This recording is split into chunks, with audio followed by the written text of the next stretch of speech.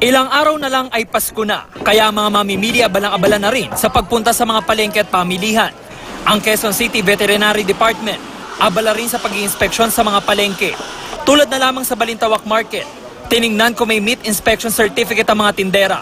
Sunod na pinuntahan ng ilang palengke sa Novaliches, ininspeksyon ng Star Market at CI Market. Nakapaskil naman ang mga meat inspection certificate. Ang mga ganitong inspeksyon, pabor daw sa mga tindero at tindera. Okay lang naman.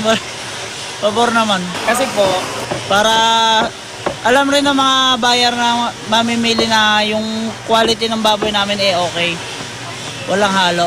Okay po para ano, ah, pantay-pantay lahat yung mga nahuhuli yung mga hindi ano na legal na nagtitinda ng baboy. Pero sa labas ng palengke sa Novaliches, hindi nakalusot ang nasa 30 kilo ng mishandled frozen meat na nakatiwangwang lang sa mga tray. Hindi naman bawal ang pagbebenta ng frozen meat, pero dapat ay nasa chiller o freezer ang mga ito.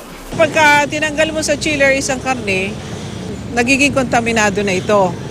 Dapat nakalagay siya sa chiller. Dapat may minemaintain na temperature. Hindi umubra ang palusot ng tindero. Hindi naman kasi namin alam na ano, gano'n na bawal eh. Ang ano namin kasi para sa Pasko po, kaso nga lang yun, yun, kaulit. Ano pong para sa Pasko, sir? Yung magdi-display sana kami ngayon para hanggang sa Pasko po. Babala ng mga otoridad ang sino mang makakakain ng kontaminadong karne ay maaaring makaranas ng pananakit ng tiyan, labis sa pagdurumi at pagkalasot. Kaya paalala nila sa publiko, maging mapanuri sa binibiling karne. Lagi nating hahanapin ang meat inspection certificate. Kasi yan lang ang magpapatunay na ang karne na binibili natin ay galing sa legal na katayan o malinis na katayan at nai-inspeksyon. James Agustin, GMA News.